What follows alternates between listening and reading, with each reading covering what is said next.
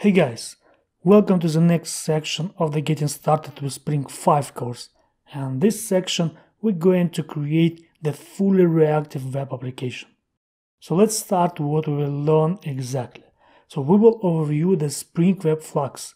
This is actually the new module that was introduced into the latest version of Spring Framework.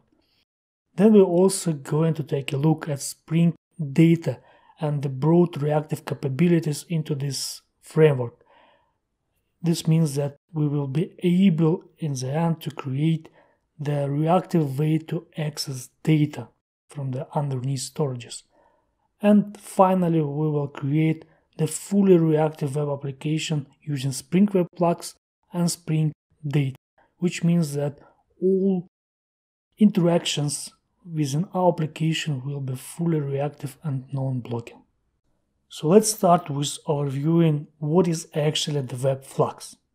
Under the hood of web flux and actually through the old Spring Framework version 5 there is a reactive contract and reactive streams was embraced into the Spring Framework as a contract for communicating back pressure across async components and libraries Reactive streams is actually a specification that is part of adaptation of Java 9.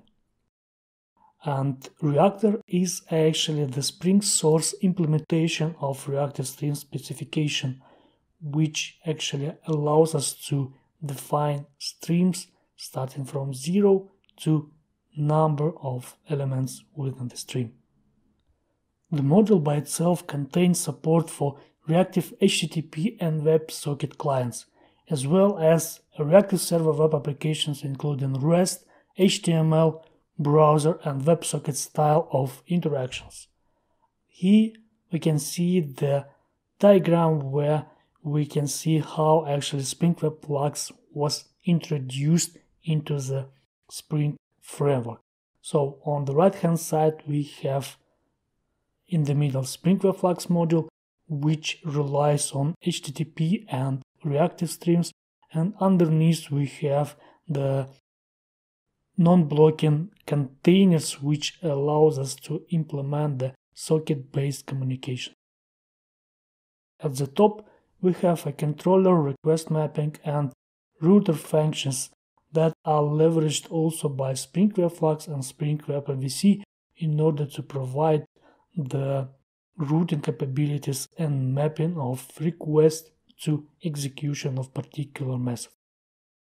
As for implementation at the server side, Spring Web Flux provides two ways to achieve this. First one is exactly the same as we used to using Spring MVC. This is based on controller annotation and other annotations that were within our web applications.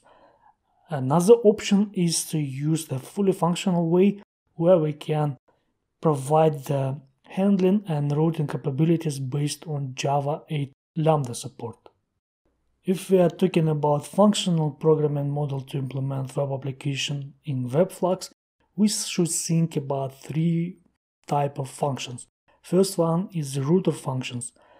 This type of function are actually responsible to map particular endpoint to be executed by a particular function. So these functions are correspondent to the request mapping on the controller class level.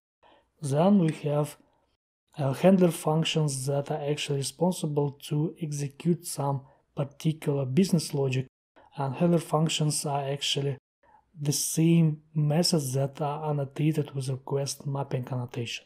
And between we have the handler filter function which are able to inject some additional filtering capabilities to our web application and these functions are correspondent to the servlet filters or classes annotated with controller advice annotation.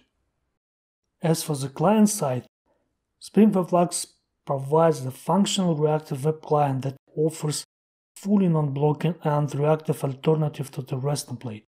It exposes a network input and output as a reactive client HTTP request and client HTTP response, where the body of the request and response is actually a data buffer wrapped into the flux. instead of the input stream uh, or output stream correspondingly. In addition, it also supports the JSON and XML and other types at the format of the messages that are exchanging between client and the server. Now let's practically overview what are the ways to create the web applications in the reactive way. In order to do this, let's go to the source code of the section 10 and let's open build.gradle file. So here we have some additional dependencies that we will need as part of our fully reactive web application. And here we have two dependencies, which is the reactor core which will bring the support of reactive streams as part of the reactor implementation. And then we have a Lettuce core, which is actually the fully reactive connection or driver for Redis. And the rest part of our application is still the same, so no new dependencies were introduced. Now let's go to the controller package of our application where we have stock dataware controller class. And this class is quite similar to that uh, controller classes we have in previous sections. It is also annotated with REST controller annotation and the request mapping which marks that this controller will produce the JSON and XML formats. Then we have the injection of the Redis implementation of the stock devo and there is a method which is handling the get methods which returns the stock by ID. Then we have the save stock method which handles the put HTTP requests and we have also the new method which actually is implementation of the way how we can actually return more than one object of as part of response.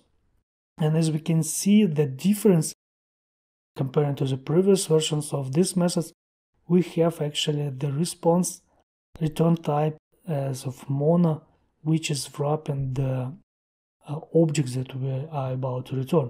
So as for get info method, we have returned a mono which is wrapping the stock DTO, which means that Mono is a reactive stream interface and we are actually returning the reactive response as part of response from our get info.